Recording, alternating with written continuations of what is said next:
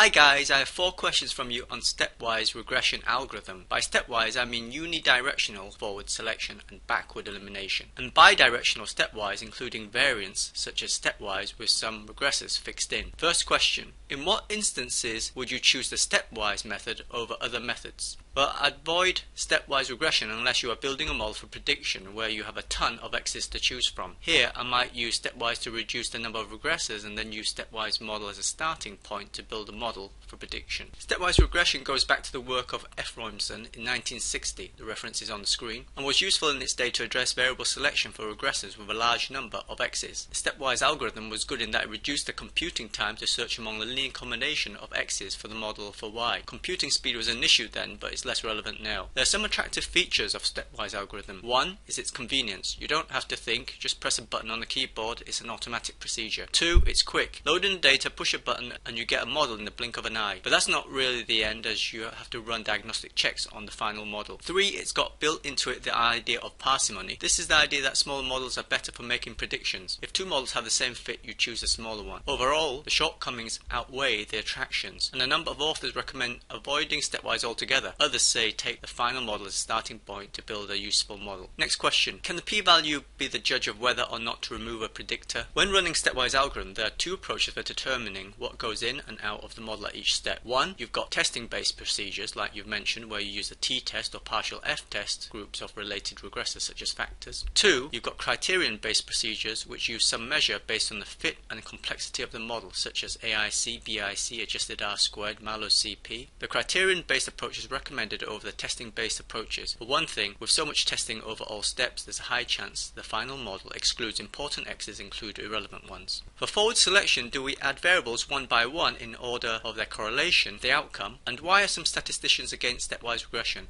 I'll deal with the questions in order. I guess you mean partial correlation? No, it's not to do with that. Like I mentioned, you use the testing approach or the criterion approach in stepwise. Here you're talking about the testing approach, in which case the idea is to select the predictor with the lowest p-value for the t-stat of the individual significance or partial f-test that's below your criterion, typically 0.05. Note an x entering before others does not mean it is more important. For example, suppose we have two x's, x1 and x2, and that they're highly correlated both having a high correlation with y as well. One of them will enter first, say x1, but because of the high collinearity between the x's, the output is unstable, and if you add a new observation and rerun the procedure, you might find now that x2 enters before x1. I'm glad you asked the second question. Reasons for avoiding stepwise regression. One, the most important drawback, I think, is there's no guarantee it comes up with a model that's useful for the research. Parameter estimates may be meaningless, and the predictive performance may be worse than models using other methods. Two, it does not take take into account of influential points at any stage. 3. Stepwise regression assumes y is linear in the x's, which isn't a reasonable assumption as it depends on what you are modelling. In other words, stepwise does not consider transformation on the variables or interactions which may be present. It comes up with one model and it's easy to think that this is the best one, but usually a number of models can have similar fit and this has been pointed out by a number of authors which is on the screen.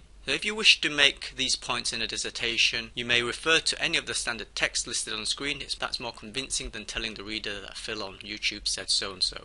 Stepwise seems a nice feature in SPSS. Now, Stepwise is available in popular packages R, Stata, SAS, SPSS, Minitab and eViews. I don't think Stepwise is nice though. It would be very handy to have a method where you press one button and all the work is done by the computer and in seconds you get a model that answers the aims of your project. If that were the case then of course in regression analysis could be covered in less than one hour and that, I agree, would be wonderful. Unfortunately this lazy way does not guarantee useful results, so if you have half an hour to submit a project then you could cook up a model without thinking with stepwise not recommended you mentioned SPSS. SPSS gives only the testing option for variable selection, which is less preferable than the criterion method. Other packages like R offers both. Okay, that's very well writing off stepwise regression, but what are the alternatives? One, if you are building a model to explain the relationship between y and x's, interpretation of the partial relationships between the x's and y is important. Use knowledge of the subject matter to guide choice of x's. Two, you're building model for prediction. Well, it will be the one that has the best predictive performance out of competing models. You'll use cross-validation to assess the predictive performance and one form of cross-validation goes like this. Split the sample into two, a training set for building the model and a validating set for testing the models. Stepwise regression could be tried here along with refinements of it and or other methods. If stepwise is no good, it won't win the prediction round and you'll just have lost a little time in running it. Okay guys, that's all I've got. This Q&A format seems to work better than the, newbie guide for regression. See you next time with answers to more of your questions.